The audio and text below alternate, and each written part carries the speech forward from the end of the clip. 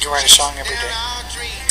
Um, yeah, I think I do. Like, not necessarily that I write a song from start to end, but you know, I got this great job when I'm back at home, and you know, I'm a janitor, but it's a nice. It's kind of uh, very meditative, and I do the left to right with the broom, with the mop.